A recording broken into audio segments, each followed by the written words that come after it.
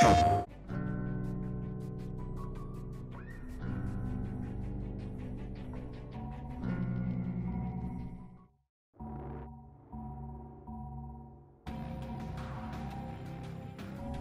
man. I used to be on top of the world, brother. All-pro quarterback four years running. Voted the sexiest Texan in 2004. Man, I beat out Dennis Quaid and Matthew McConaughey, for Christ's sake. So I drank a few beers now and then, popped occasional pill. That's nothing compared to what the team quacks you shoot me up with just so I could play. And sometimes I just need to numb the pain, you know what I'm saying? My biggest vice was speed. No, not meth, buddy, adrenaline. I blew every penny I had on the fastest cars I could find. Just so you know, I'm a damn good driver. If that asshole I was street racing hadn't sideswiped me, I never would have crashed. And that, uh... That poor girl'd still be alive. That's right. That's right, it's his goddamn fault I shattered my leg in six goddamn places. So I had a few drinks in me, so what the fuck? I drive drunk better than I do sober anyway. Of course, couldn't play worth shit after that. After I got out of jail to can my ass, said I violated the morals clause in my goddamn contract. Ended up playing semi-pro in fucking Canada. But I'm still a name. Oh yeah, I'm still a celebrity. That's why they wanted me to promote their blood drive here. That's why they fucking flew me, first class, halfway around the goddamn world. Because my name still means something. Logan Carter is no goddamn douchebag.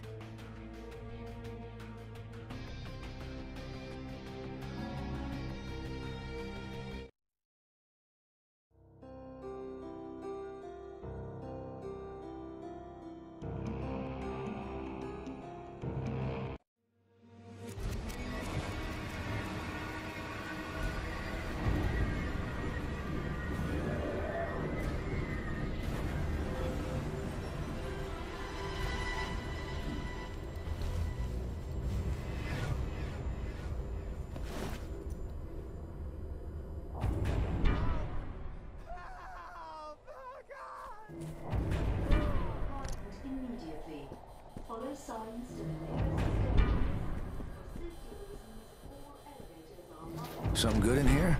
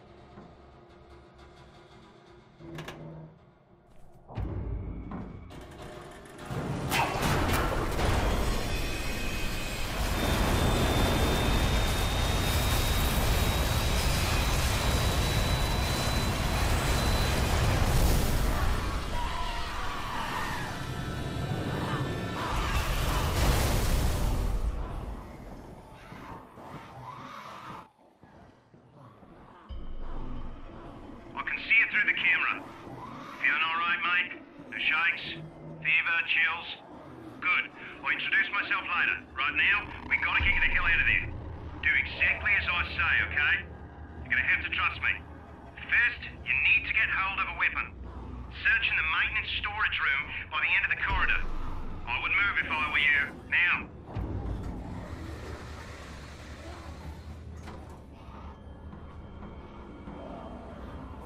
Well, what do we got here?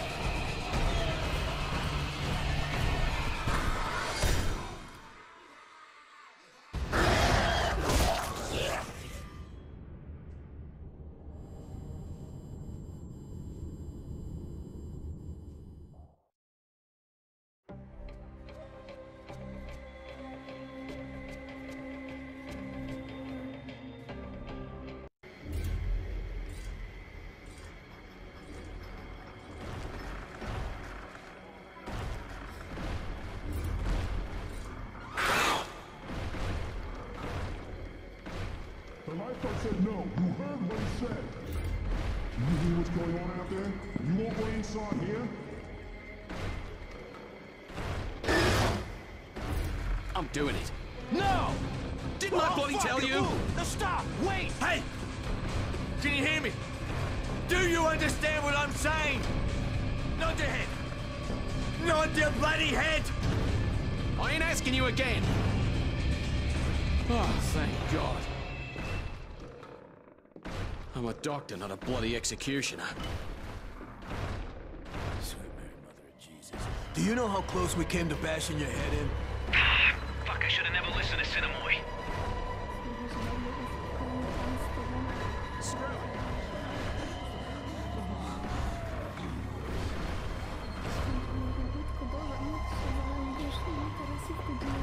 Those things came for us, and Sinamoi would have to kill them alone. Why won't anyone help him? You can't just let him die out there. He saved your life. You owe him your life. Please! He's the only one protecting us. You going out there? Are you nuts? You're not gonna help him. Get the hell out of the way. You at least have a weapon? You need to find a weapon. Why won't anyone do anything?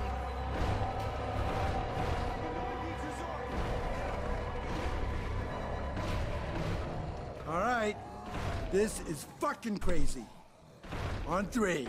One, two, fuck it, three!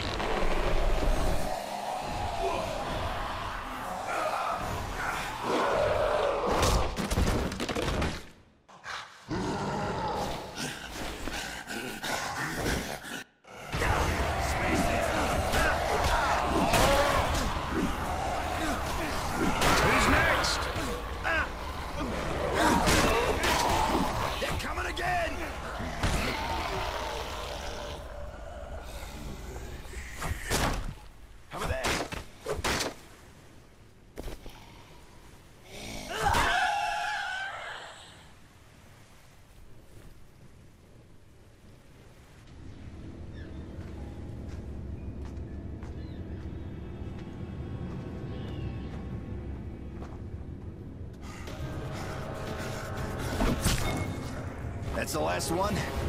Okay then. Thanks, mates. Are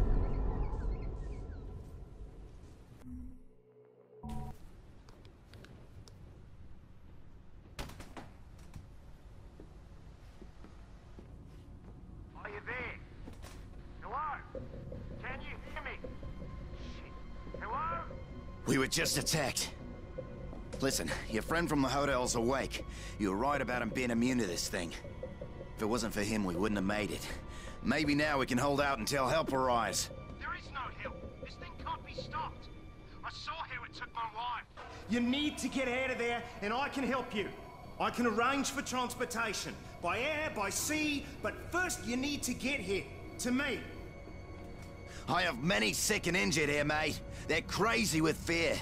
Tell me where you are. Where are you? You there, mate? Hello? Hello? Oh, God damn it.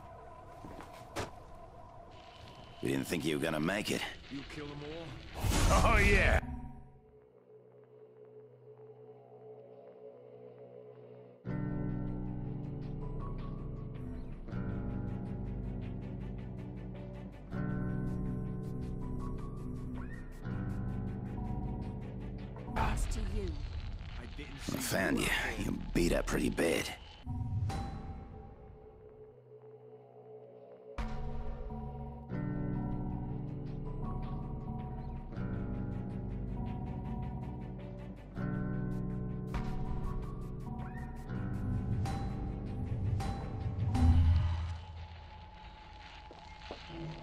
Name's John Sinamoi. I'm the head lifeguard here.